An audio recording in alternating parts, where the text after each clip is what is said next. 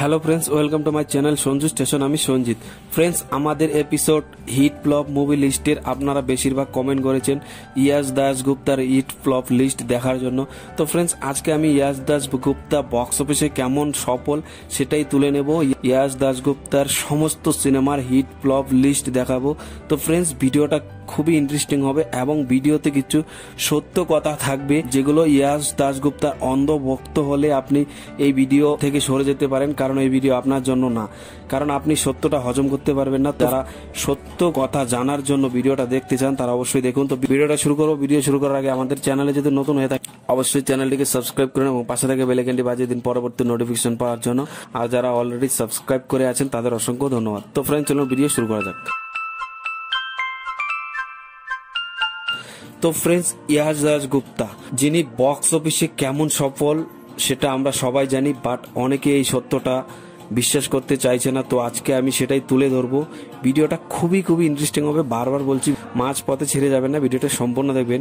তো ফ্রেন্ডস তো ইয়াস দাস গুপ্তার সম্পর্কে কিছু জানার আগে তার বড় পর্দায় মুক্তিপ্রাপ্ত যেগুলো সিনেমা এখন অব্দি মুক্তি পেয়েছে, সেগুলো বক্স অফিস রিপোর্ট এক নজরে দেখে আসব, কেমন হয়েছে। তো চলুন দেখে নেওয়া যাক।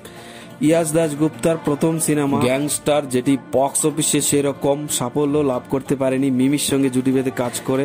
সিনেমাটি বক্স অফিসে যদিও অ্যাভারেজ ব্যবসা করে, বাট সিনেমাটি স্যাটেলাইট, রাইট, সবকিছু নিয়ে সিনেমাটি মোটামুটি একটা হিট পর্যায়ে যায়, তাকে কোন রকম হিট সিনেমা বলা যায়। বাট তারপর তার দু নম্বর সিনেমা, ওয়ান, যেখানে প্রসেনজিৎ চ্যাটার্জি, নুসরত জাহানের সঙ্গে কাজ করে, সিনেমাটি বক্স অফিসে থুবড়ে পড়ে।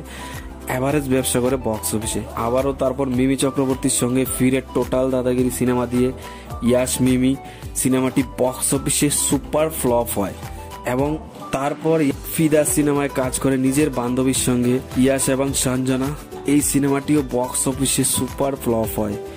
তারপর কিছুদিন মধ্যে ঘেপ দিয়ে তিনি আবারও মিমি চক্রবর্তীর সঙ্গে ফিরেন। মন জানে না সিনেমা দিয়ে। যেটিতে ডিরেক্ট করেছিলেন শাহ গুপ্তা রফি, বলিউডের। এই সিনেমাটিও বক্স অফিসে অ্যাভারেজ ব্যবসা করে।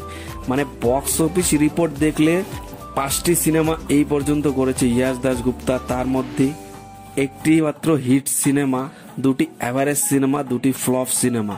তার মানে তার কেরিয়ারে এখন অব্দি একটি সুপার হিট সিনেমা দিতে পারেনি, একটি ব্লকবাস্টার সিনেমা দিতে পারেনি, আর অল টাইম ব্লকবাস্টারের কথা তো ছেড়েই দিলাম। মানে বক্স অফিসে ফুলফিল ব্যর্থ ইয়াস দাস গুপ্তা। এখন ইয়াস দাস গুপ্তাকে নিয়ে কিছু কথা বলি? আসলে সবাইকে সব জায়গায় মানায় না। ইয়াস দাস গুপ্তা সিরিয়ালে খুব ভালো, জনপ্রিয় ছিল। তাকে আমরা সবাই ভালোবাসতাম। বোঝে না সে, বোঝে না সিরিয়াল থেকে। সবাই তার ফ্যান ছিলাম এবং তাকে লাইক করতাম।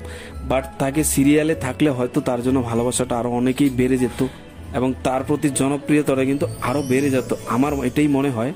তাকে সিনেমায় আসা, তার সিনেমায় সিনেমায় কাজ করা, প্রত্যেকটা সিনেমা বক্স অফিসে এরকম ভাবে মুখ থুবড়ে পড়া, এটা কিন্তু ইন্ডাস্ট্রির লজ্জা।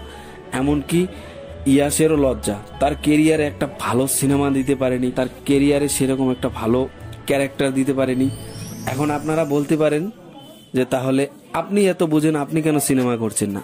আসলে আমি এই যে বললাম, সবাইকে সবটা মানায় না বা সবার ধারা সবটা হয় না। আসলে আমি সিনেমা নিয়ে কথা বলছি তো আমাকে এটাই মানায়। আমাকে সিনেমার হিরো হিসেবে মানাবে না। তো সেম ইয়াসকেও সিরিয়ালের হিরো হিসেবেই মানায়। তাকে বড় পর্দার হিরো হিসেবে একদমই মানানসই নয়। এটা আমার মন করা কথা নয়। এটা তার বক্স অফিস রিপোর্ট দেখলে বোঝা যায়। যিনি পরপর পাঁচ ছটা সিনেমা করেও একটি হিট সিনেমা ভালো করে দিতে পারেন ইন্ডাস্ট্রিতে কি দিতে পারবে? দর্শক তার কাছ থেকে আর কি আশা করতে পারে? আসলে ইয়াসের ব্যাপারে আরও দুটি সত্যতা আছে। এটি হলো এক নম্বর। তার অ্যাক্টিং এর মধ্যে খুবই দুর্বলতা রয়েছে। দু নম্বর তাকে স্টোরি চুজ করতে হবে। যেটা পেলাম সেটাই করে নিলাম। এমন আমি হিরো অনেকগুলো সিনেমা করে নিলাম বাট তাতে কিন্তু ক্ষতিটা নিজেরই হচ্ছে। প্রত্যেকটা সিনেমা ফ্লপ অ্যাভারেজ এইগুলো করে কিন্তু নিজের স্টারডম খুবই কমে যাচ্ছে।